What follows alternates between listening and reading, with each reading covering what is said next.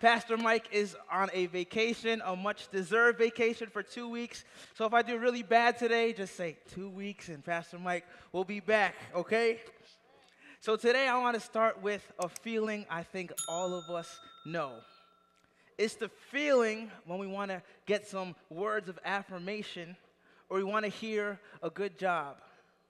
Like for me, when I was younger and I played in a soccer match and I did really well that match, I loved to hear from my teammates that I did a good job.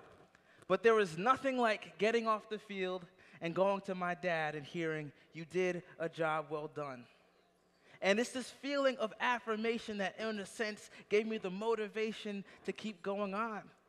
And I think many of us in our own lives know this feeling of words that make us feel good. It's like we go seeking after words that make us feel right about ourselves. And we've been in this sermon series titled Seeker. And I think one thing that many of us go seeking after is words that make us feel good, words that feel right. Now, gentlemen, I'm going to attack us first and get us out the way, all right? When it's a new year, we start exercising. And not only do we exercise, we exercise two weeks in a row. We did two whole weeks of exercise. How do we come home? We're not coming home slouched over. We're like, yo. It makes your voice deeper when you work out. Yo, what's good? Oh, you want the time? Hold on, let me check. What time is it? Oh, let me tie my shoelaces real quick. We worked out for two weeks, and now we're walking around like we're the strongest thing ever. And a lot of times when people are walking around like this, always flexing, what are they looking for? Words of affirmation. We're looking for words to make us feel good about ourselves. And you know, some of you ladies were laughing. Big mistake. You shouldn't have laughed. Because at least we worked out for two weeks in a row. Ladies will do two workouts, head on to Amazon, uh, waist trainer, uh, order get a new waist trainer, strap that bad boy on, and work around. Uh, girl, did you lose weight? Yeah. No, she didn't. No, you did not. You lying in church. You lose one thing when you put on a waist trainer. That is the ability to breathe properly. It's squeezing the breath out of you. But in all honesty, guys and girls, we all know the feeling of wanting words to make us feel good about ourselves. Whether you did your hair differently or you finished a project, it's nice to feel those words of affirmation. And because they feel nice, it's often something that we would go seeking for. And I've had the privilege here at the church of working with your well mannered, mild, obedient children over in the kids' church. And in the children's church, especially, I learned very quickly that kids love words of affirmation. Now, when I'm doing the kids' camp, there's two words that I can never utter unless I want to be swarmed by children. And those are the words, good job. So follow me here. I go to the kids' camp, and it's the end of the second week, so I'm tired. So a little girl comes over, Mr. Josh, look at this rock that I found. And I'm not trying to be swarmed by kids right now. So I lean over, I do a quick 360 degree scan, make sure there's no kids within 200 miles, and I whisper, Wow, good job. I go to blink, I open my eyes. Now what? 100 kids, I can hop on one leg. Look at me. I can spin in a circle. Now, every kid wants to hear words of affirmation because you told one kid, good job. We see in the office after work when there's all the kids there. The second I say good job, now one kid's doing a split. Now one kid's running around. Everybody wants those words of affirmation because they feel good.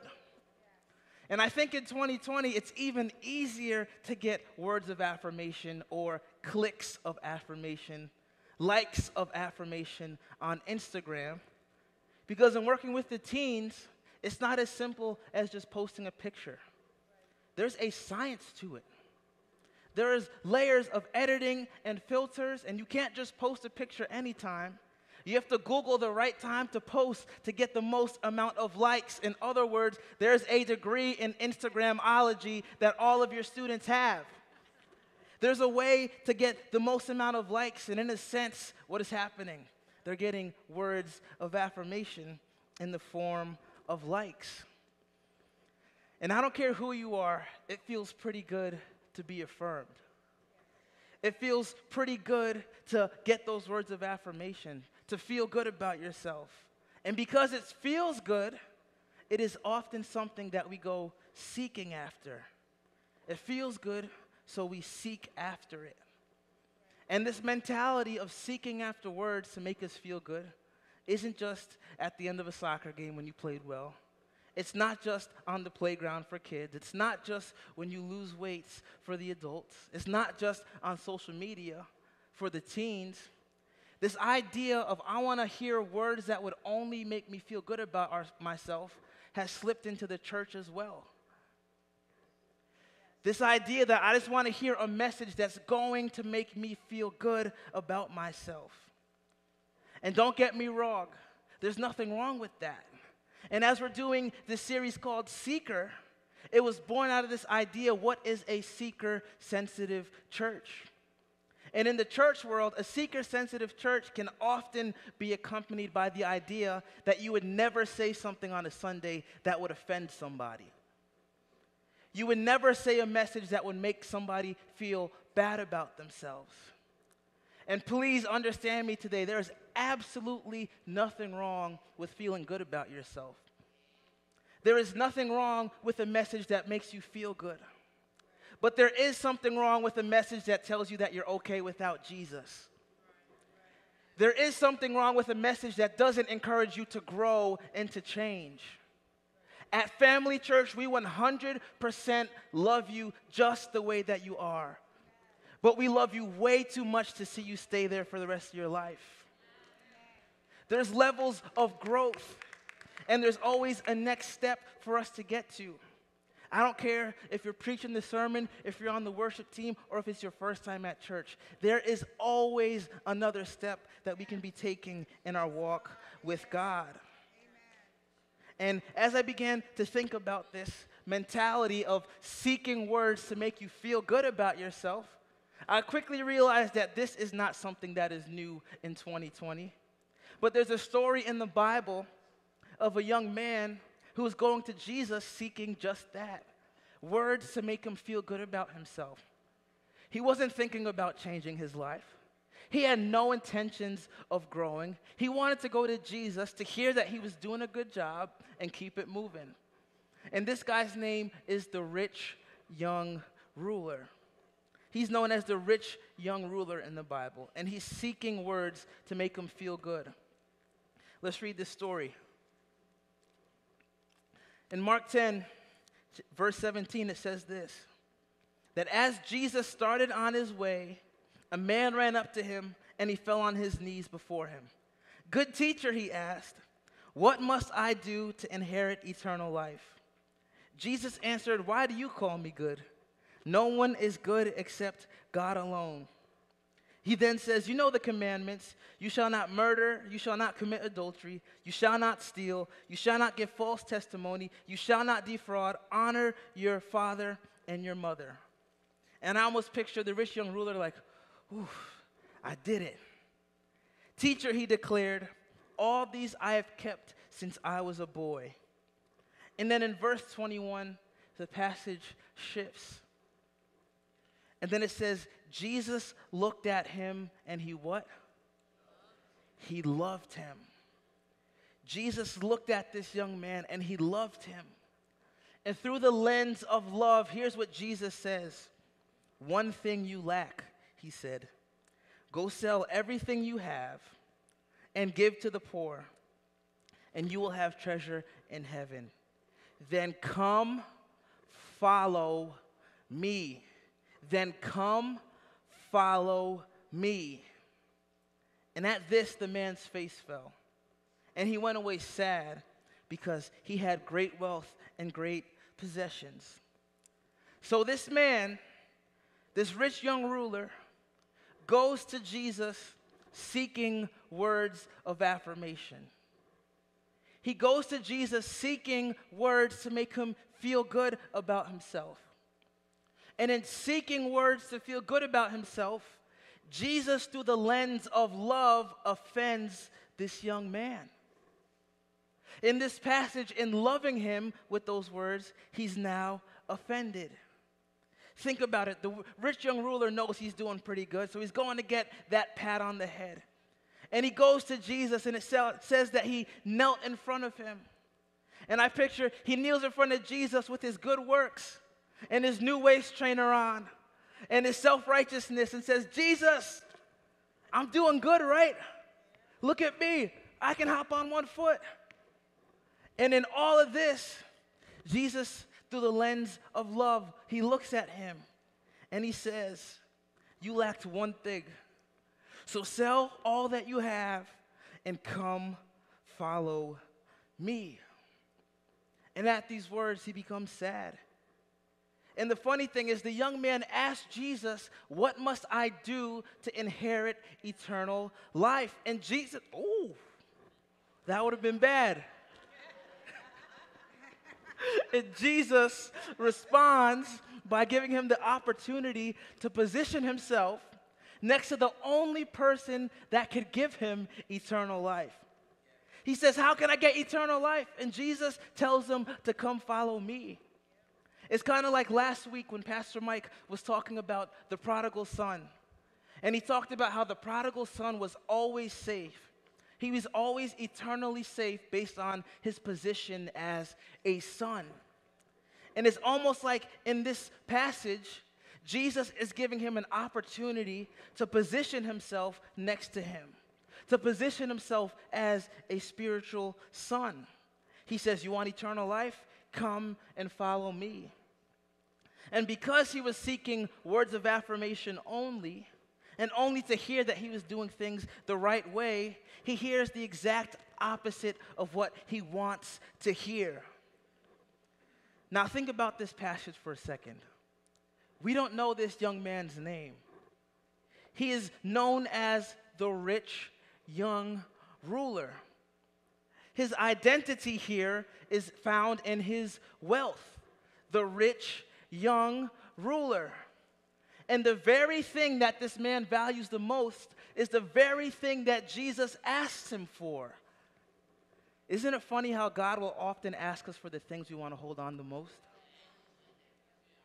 How we'll tell God, God, you can have all of this. You can have this and this and this and this and this. You can have all these things, God, but this one thing right here, this is mine. This is hands off. And it's like God comes into the convenience store of your life and you say, God, look at all the options. Whatever you want, take all these, it's all yours. And then God has to go, Yo, what you got in the back? and what do you do? Man, God, come on. Stop playing, man. You play too much. Look, all these, take it. Here, actually, here's a coupon. Just get out my store. It's yours. Take it. Go ahead. You were good. And God says, Nah, what's that thing in the back? And what's funny about God is when you take that thing that you had in the back and you hand it to Him, He gives it back to you greater than you ever could have gotten it on your own. This is the God that we serve. It's that one thing that we don't want him to have. And in the case of the rich young ruler, it was his wealth. And in going to God, because this man went to Jesus, Jesus didn't come to him. He goes to God, asks a question, doesn't like the answer, and now he's met by words he doesn't want to hear. And hearing words you don't want to hear is often offensive. And this might sound crazy to hear in church, but this is the nature of the gospel message. The gospel of Jesus is an offensive message. Summed up, it says, You're not good enough on your own. It says, None of us are good enough on our own. We are all equally in need of God. And this can sound offensive. And when Jesus walked the earth, he offended many people with this message of God's grace. He offended many people with the message of his kingdom. And it might sound weird that Jesus would offend anybody because many times we have this picture of Jesus in our mind of a weak, soft spoken man who would never cause any ruckus. We have this picture of a very quiet, submissive man who drank his tea with his pinky up because he was very nice. He was just a nice guy. Maybe you've seen that picture, that painting of Jesus when he's holding a lamb and he's like petting it as if Jesus was walking around with a lamb and petting it like it was a dog in a stroller, like we see at the mall. And I think many of us are very well acquainted with Jesus the Lamb. We understand the idea that Jesus was the Lamb of God, but many times we also forget that the Bible also calls him the Lion of the tribe of Judah. Because there is a duality to Jesus. He wasn't just somebody who knew how to be a lamb, he also knew when the time was to be a lion. There's a story in the Bible where Jesus flips tables where people are selling stuff. Imagine you're selling Girl Scout cookies in front of church and somebody comes up and flips your table. You're gonna be like, oh my gosh, that's the lion of Judah. He had such a passion for God's house that when they were making it about things other than God, he said, This cannot go on. And the lion came out in that moment. And we see with Jesus, yes, he was submissive to his father, but he was also superior. Yes, he would go to the side and pray by himself, but he was also very powerful. And quite honestly, Jesus was superior because he was submissive. It was in submitting to his father that he found his power. He was often powerful because of the time he spent in prayer by himself. Jesus was not a weak man, he was a meek man. M E E K. They are two completely different things. In Matthew chapter 5, Jesus says, Blessed are the meek, for they shall inherit the earth. And the word meek isn't the way that we define meek. In English, the word meek means this quiet, gentle, easily manipulated, submissive.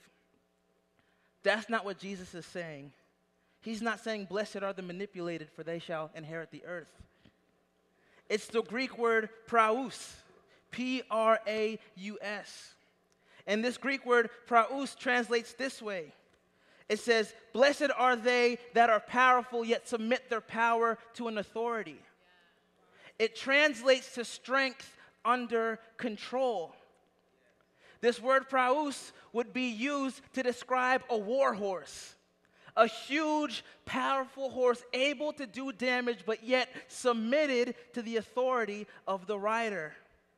In other words, Jesus is saying, Blessed are they who are dangerous and yet submit to God. Blessed are they who can do damage and yet submit it to God. Blessed are those who can move a room but wait on God to tell them when to move. He's saying you're submitting that power to an authority. And this was Jesus. He was the perfect image of one who was meek. Think about it. He was the most power filled human to ever walk the earth. And yet he was crucified by his own creation. If I was the most powerful human and you told me that my forehead was big, you're dead. You're dead. I'm not playing that game. You cut me off. Oh, don't worry about it, brother. Bye. Dead.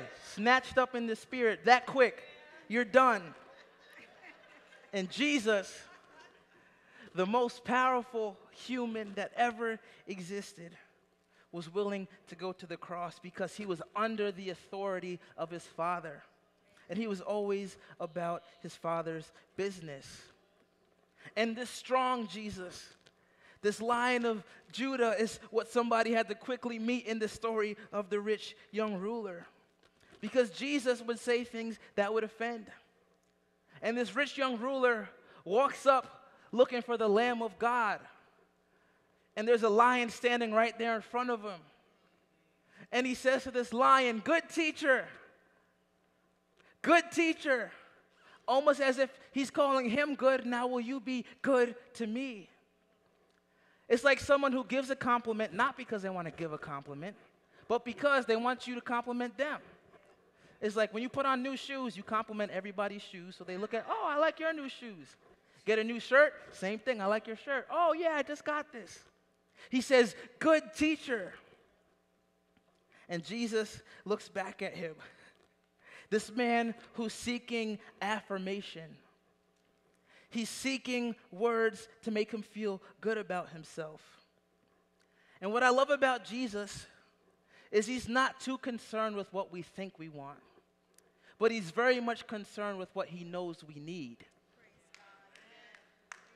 I'm going to say that again. Jesus is not too concerned with what we think we want, but he is very concerned with what he knows that we need because something sometimes they're not the same thing. We have to remember that God is a good father. And parents, think about it. If you gave your kids only what they thought they needed, what would your kids look like? They'd be crazy. We're having ice cream for dinner every night. We're not going to school today.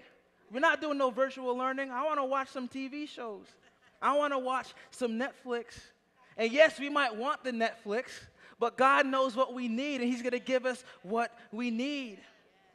And this rich young ruler, he's seeking words of affirmation. And instead of giving him the affirmation, Jesus hands him a revelation. In that moment, when this young man is looking for words to feel good, Jesus says, There's one thing you still lack. Sell all that you have and come follow me because all of the things that the rich young ruler might have been great. Holding up those commandments, his good works was great. But you can have a lot of things and still be lacking the most important thing. And Jesus tells him, forget about the rest. Forget about who you were as a rich young ruler. Become my follower. And it's these words that this young man needed. They were spoke through the lens of love. And guess what? Love is funny. Because sometimes love hurts. What? That's right. Sometimes love hurts. And in this situation, love hurt this rich young ruler. Proverbs 27 6 says this Wounds from a sincere friend are better than many kisses from an enemy. What? A wound over a kiss? Wounds from a sincere friend are better than many kisses from an enemy. What does that mean? It means that sometimes somebody who really loves you will tell you something about yourself that you don't want to hear. It means that a good friend might have those awkward conversations. Like, yo, what you said back there, that wasn't cool. The way you treated that person, that wasn't cool. Even though it might be uncomfortable, it's better to be surrounded by people who actually love you, so much love for you that they would hurt you, than somebody who talks about you behind your back but will kiss you on your face. And that's what this scripture is saying right here. And in this situation, Jesus lives this out perfectly. Where he loves this man in a way where it wounds him like a good friend would. And in this situation, love causes this rich young ruler to stumble. Whoa, Jesus, get rid of all my riches and follow you?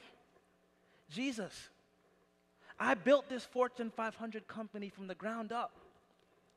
You weren't there with me working 80 hour weeks. You weren't there with me when I was crying. You don't know the work that I put into this business. And now you're going to tell me to sell all that I have and to follow you? Yes, that can make even the strongest person stumble. And the funny thing about Jesus is that the idea of following Jesus is often a stumbling block to those who don't believe in him. It is Jesus specifically who is the stumbling block. It is Jesus specifically where people go, whoa, hold on. Let's think about it. You watching TV, and there's phrases that you can and can't say. the phrase, God loves you, that's fine. Nobody has a problem with that. The phrase, God cares about you, that's fine. He does care about me. The phrase, God sees you right where you're at, that's fine. I love that. But then say this Jesus Christ is the only way. Whoa, hold on. We didn't agree to say all that stuff. Why is that? Is it possible that it's because Jesus is the stumbling block? The same way the Bible says that he is? And we see this in 1 Peter chapter 2. This passage is talking about the honor that comes with following Jesus. And then it talks about the person, what who Jesus is to the person not yet following him. And in 1 Peter chapter 2 it says this. So the honor is for you who believe in Jesus. And then it says, But for those who do not believe, the stone that the builders rejected has become the cornerstone, a stone of stumbling and a rock of offense. Wait, you mean, sweet Lamb of God, Jesus can be a rock of offense? Yes. That is exactly what this passage is saying. And I can understand why somebody like the rich young ruler, who seems to be a pretty good guy, would be offended at the words that Jesus spoke. I mean, even in my own life, I would be offended by that. Now, I'm going to talk as if I'm apart from God for a while. But me apart from God, like, honestly, I was still a pretty good guy growing up. I would listen to my teachers, I would listen to my parents only when they were right, which was a small portion of the time. I would uh, I wouldn't bully anybody. I would share my school lunch. Like I was a pretty good person, and I, I need some help. But Pastor Brian, come here. I need you. I need your help. You're gonna be me. This is my birthday twin. We share a birthday, so he's gonna be me. This is me. This side of the stage is bad.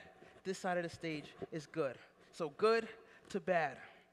In my own strength, I'm still a pretty good guy.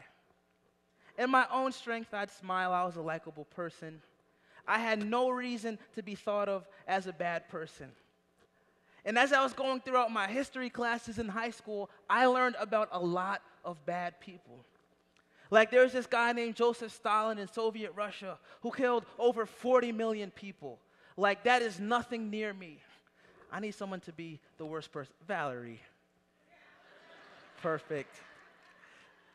Valerie's going to represent the worst person who ever lived. Now take that man from history class and combine him with all the evil people from history class. And then take that person and combine them with your coworker who lives their life to annoy you. They wake up every day like, let's get him. Another day, another opportunity to get on their nerves. Take all the worst parts of humanity and put them right here. And this is me, good Josh, and this is them. I'm not going to say bad Valerie, but bad Valerie. So there's this huge gap between me and Valerie, the worst ever you can imagine. And this is fine. And it makes sense. I didn't kill all those people. I didn't abuse anybody.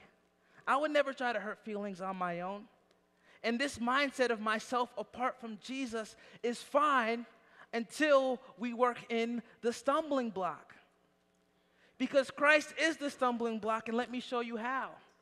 On the scale of bad to good, I'm fine, but where would I land if we factored Jesus into the equation? Come on, Rayvon.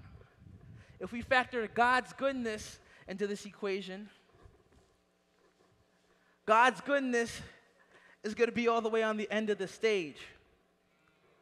Now you tell me, in my own strength apart from Jesus, in my own self apart from God, am I closer to the worst person we could ever imagine or God?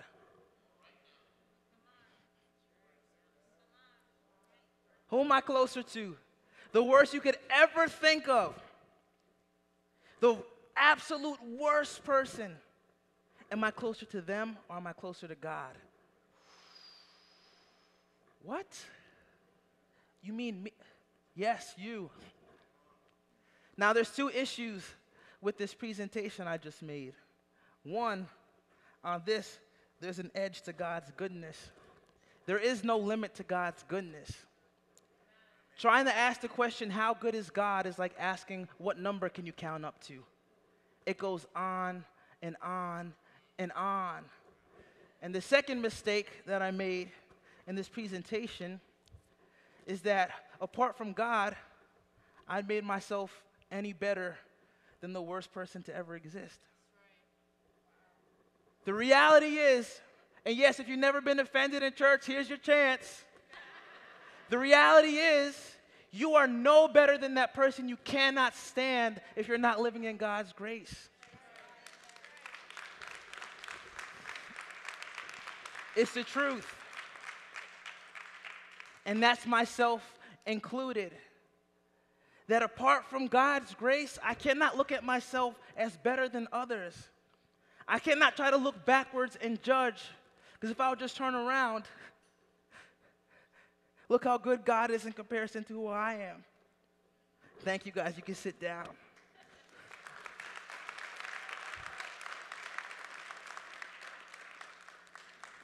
Even without God, we can try to make ourselves seem to be something that's good, seem to be something that's better than those who are around me. Reality, we're all in need of help. Reality is we're all in need of a Savior. Reality is we all have those bad days where we wish we just had a friend. No matter how good you may think you are, apart from God's grace and apart from God's goodness, none of us could ever be good enough.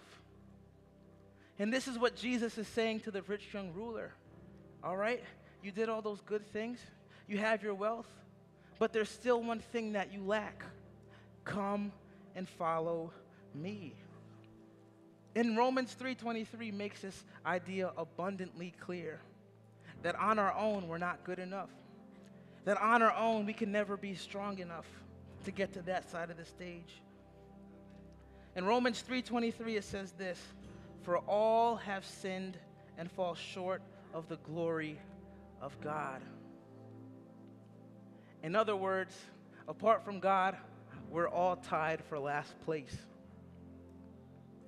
There's no levels to I'm better than you. Yeah, I did some things, but I'm not as bad as them. No. We're all equally in need of help. And the thing that I love about God is that God realized that we would never be able to do it on our own. So, what God does in an act of humility, or should I say, in an act of meekness, He steps down from eternity and He enters into humanity. And Jesus, the creator of the heavens and the earth, decides to get relegated to the position of a baby where He would grow. And Jesus, from he was a baby up to his death, walked the earth and lived the perfect life that none of us could live. He lived for us the perfect life that would be required to make it to that side of the stage. But he didn't stop there. He didn't just live the life that none of us could live, he also died the death that all of us deserved of his own free choice, he decided to be crucified by his own creation.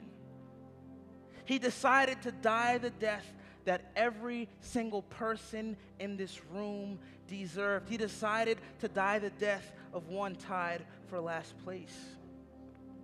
And not only did he live the life he couldn't live and die the death that we all deserved, he died. And then three days went by. And after three days, he did something that humanity has never seen. He rose again. And in the Bible, it says in the book of Galatians, chapter 2, I have been crucified with Christ. It is no longer I that live, but Christ who lives in me. He literally died for us, but he also rose for us. He rose with all authority. He rose with the keys of death, hell, and the grave, and then he did something wild. He gave you the key. The key of all power. You mean I can walk the earth as you did, Jesus? Yes. He gave us the authority to walk as he walked. And he's not asking for us to live perfect lives. He's not asking us to live mistake free. He's asking us something very simple, but something very hard. He's saying, Come follow me. He's saying, That life that you had before, sell it all. And I'm not talking about your business or your job. I'm talking about those things that we want to hold on to. He's saying, forget about all of that and come follow me. Because there's so much greater in store for you if you would just trust me with your life. There's so much greater in store for you if you would just follow me. And that's my one point today follow Jesus. Follow Jesus. For the rich young ruler, following Jesus looked like selling all that he had and physically following him. I want to ask you today what would it look like if you decided to follow Jesus? In other words, what's that one thing you keep in the back room? Where God, this is mine to have. God, this is for me. You can have the rest, but this is for me. And in this story, the one thing that was held in the back room was his great riches and his great wealth. God, you can have everything except for this. And the funny thing about humanity is there's a lot of different things we'll hold on to. God, you can have my wealth, but my depression, I'm holding on to that. That's mine. God, you can have everything. This needle is mine. I want to hold on to this because it makes me feel better. God, you can have everything, but my pride, that's mine. God, you can have everything. My business, that's mine. God, take whatever you want, but I'm holding on to this because it costs too much for me to give it up. And that's what distracted the rich young ruler. He said, Jesus, you can have everything, but giving up my wealth, that would cost me too much. But if he would have opened the eyes of his heart, he would have seen that he was standing next to the one that would pay the ultimate price for him, that would pay the highest price. And today I want to encourage you if there's something that God is asking you to give over to Him, it's not because He's mad at you, it's not because He doesn't want you to be happy. He's doing it because there is so much more in store for you. He's doing it because there is so much more in store. He says to the rich young ruler, You want riches? You don't even know riches. Heaven, you're not even close with your riches. You want riches? I can give that to you. But what you lack still is me. And there is no substitute for Jesus. Sometimes when you're cooking something and you run out of butter, you can search online butter substitute. All right, throw in two tablespoons of olive oil. And we can live life where there's many substitutes. But there's one thing that you cannot substitute in this life, and that is the stumbling block named Jesus. There is no other way. There is no shortcut for that. There is no way to the Father except by the name of Jesus. And maybe you're sitting here today and you're like, I heard that 20 years ago. I just wasted 20 years. I've been holding on to this thing for 40 years. Well, here's what I want to tell you today that the story of the rich young ruler, it ended where I left off. He had to write the rest of his story. I wonder if he walked away sad and disappointed.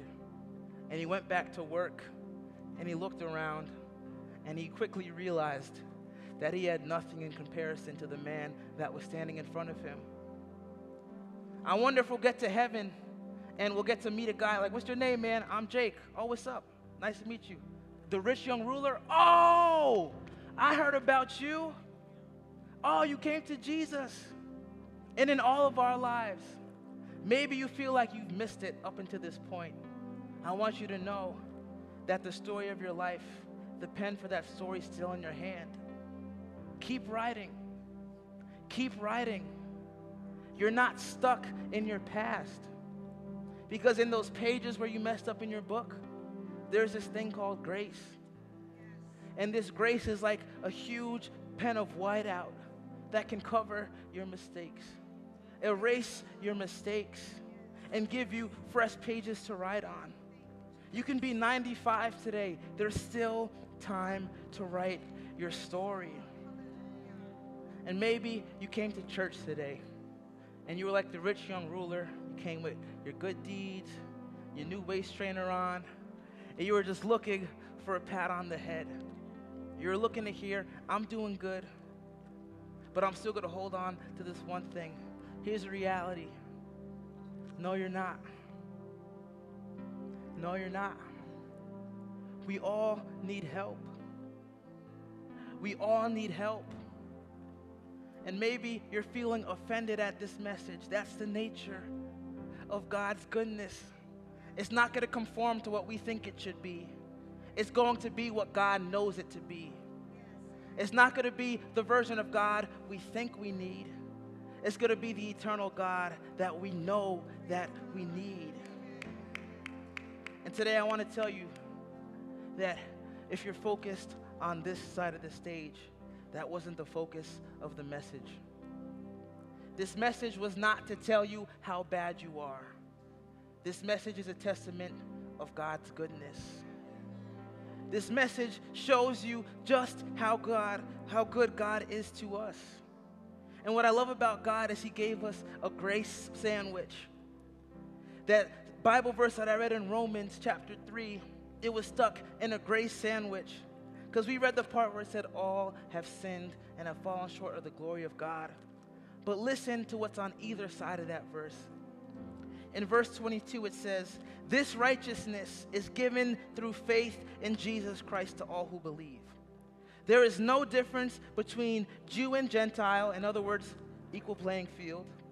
For all have sinned and fall short of the glory of God. And then watch verse 24 and all are justified freely by his grace through redemption that came by Christ Jesus. Redemption that came by the stumbling block. Redemption that came by the lion of Judah. Redemption that came by the Lamb of God. It's great that we all are living our lives.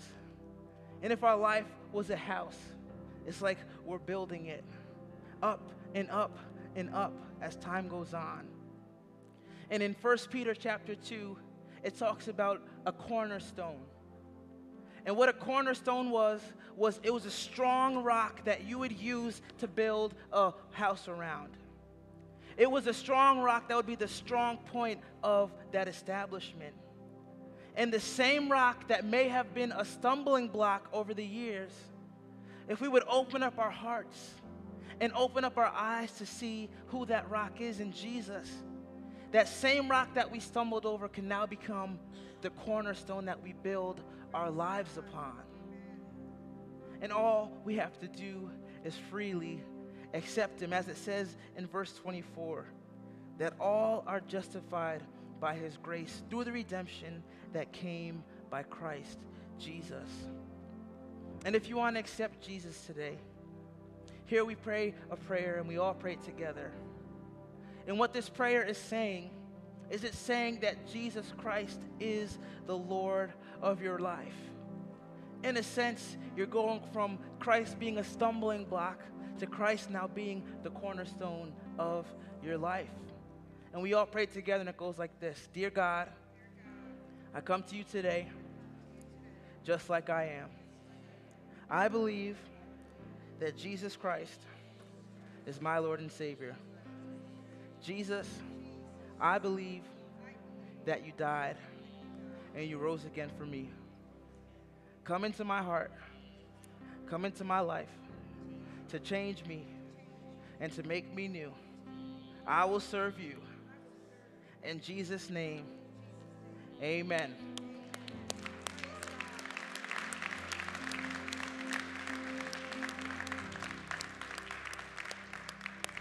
Now, I want to quickly ask if there's anybody here in the room that prayed that for the first time, or maybe somebody online prayed that for the first time. If you're here and that's you, can you wave at me real quick so we can celebrate you? Is there anybody at all today that prayed that? Right there in the back, welcome home.